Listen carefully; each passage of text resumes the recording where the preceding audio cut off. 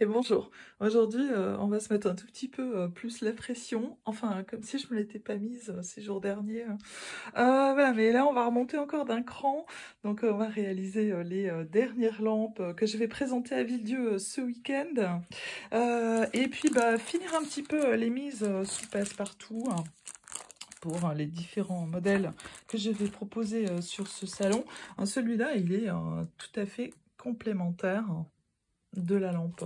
J'aime bien euh, de avoir une proposition à plat et une proposition euh, en volume de mes créations. Voilà. Et euh, comme pour les lampes en mosaïque, bien entendu, on peut choisir soit le côté mosaïque et entre guillemets plus neutre, ou soit le homard. Voilà. Je sais que j'ai assez bien vendu les homards et que j'aime beaucoup euh, ce travail. On a celui-là euh, qui est un très gros euh, format sous passe-partout. Là, on est à 39 euros pièce. Sur les plus petits modèles, hein, on est à 25. Et sur les encore plus petits modèles, on est à 16 euros. Voilà, comme ça, ça vous donne un petit peu des idées hein, et de ce que je fais hein, et de vous, comment vous avez envie euh, d'orienter euh, différemment euh, vos créations et vos ventes. Et voilà, j'ai toujours dit, il faut un peu développer de la gamme.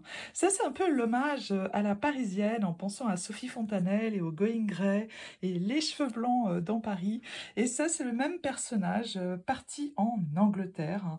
Voilà, j'avais un petit peu des hommages à rendre à certains lieux, certains souvenirs. Et là, on est toujours euh, sur euh, le homard avec euh, les carrés, la météo, la pluie, les pavés, que ce soit en Bretagne ou en Normandie, ça fonctionne pour les deux. Le motif déjeuner également, et on a toujours des petits morceaux de cartes. Donc, je vais faire cette lampe dans l'après-midi. Je vais commencer par celle-là ce matin, avec les aplats de bleu et disons de crème euh, écru. Hein.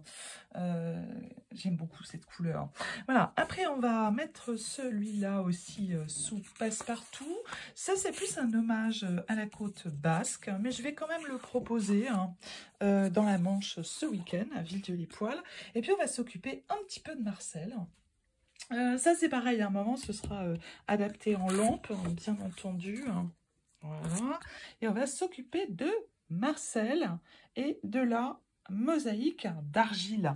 Euh, ça, c'est déjà les deux qui font partie euh, d'un corpus de 7. Hommage à Proust. Et voilà. Il n'y a plus qu'à coller. Bonne journée à vous Hello, c'est le coming out de Mila.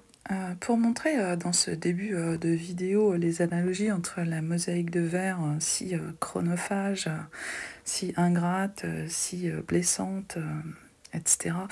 en fait, ça se mérite la lumière. Et puis, euh, ben, les aplats euh, de couleurs euh, sur du papier à la peinture acrylique et comment là-dedans on met aussi de la lumière et de la transparence. En fait, c'est un peu l'idée de qui peut le plus, peut le mieux une sorte de mieux, hein, c'est vraiment relatif. Hein. Hum, voilà, et puis après, euh, les, euh, les parties euh, là, les empreintes, dans de la sorte de micro-mosaïque de mots, de dentelle, et puis cette histoire d'empreinte et d'imprimer l'empreinte, hein. d'imprimer ce qui a été fait en argile pour travailler sur le papier. Donc on essaye de voir avec quelque chose d'une plasticité et enfin plus ou moins comment on constitue un, matériel, des matériaux. Voilà. Euh, à bientôt.